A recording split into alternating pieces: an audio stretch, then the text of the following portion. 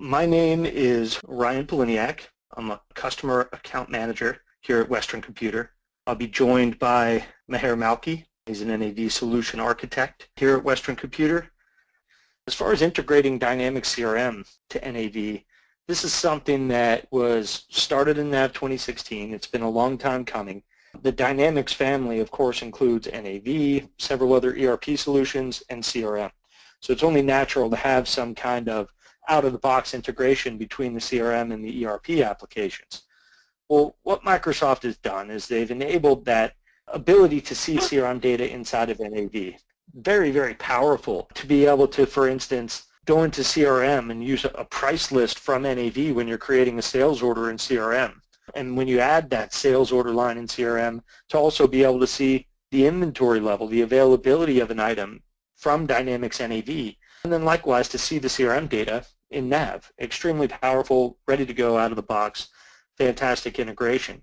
So what's new with that in Nav 2017 is the ability to synchronize things like assembly items and bill material items that you formerly could not synchronize. So they've expanded that and they've made that integration much easier to set up. The improvement in setting up the integration, I think, really goes a long way into making it a better all-around solution. So I'm going to turn it over to Meher to demo that piece for us. Thanks, Ryan. So let's go ahead and take a look at some of the improvements around the initial setup of the CRM integration. So here I'm just going to go to the Dynamics CRM connection setup. And what we'll find here is that there's this assisted setup section, or function I should say, that really steps you through the entire setup.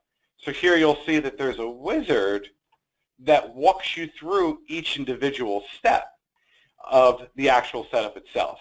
Now, by and large, what this does is it predicts some of the answers and puts the answers in there for you, but it also will go through and make sure you hit every field that's required for the setup in order for that setup to happen. There's been some more fields added to the integration table mappings, giving you some more flexibility, namely around what direction we're looking to synchronize data, if it's unidirectional or bidirectional.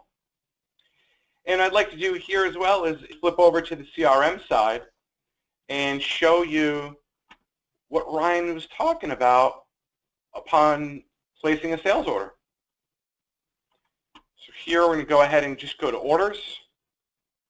And let's take a look at an order that we've created here. And you'll notice that I have the ability to choose a price list. So this particular price list right here is the Dynamics NAV default price list. You can have a CRM-based price list or allow your sales price table and sales discount tables from within NAV to roll up into a price table in CRM, and you can choose that as one of your price schedules within CRM. One other notable thing to mention here on the products or within the lines of CRM, we now have the ability to view the item availability. And you can actually go ahead and update that on the fly if you're working on a particular sales order for an extended period of time and you have fast-moving inventory, you can go ahead and just click this button to update the availability. And what that'll do is it'll bring in the latest availability for this particular item. Great. Thanks for that, Meher. So anybody who uses Dynamics CRM now that's looking at integrating it to NAV, the latest versions of NAV really make that process much more simple, much less costly, much more seamless integration between the two applications. That concludes today's video. Be sure to subscribe to our channel to stay up to date on all latest video releases. Thanks for watching.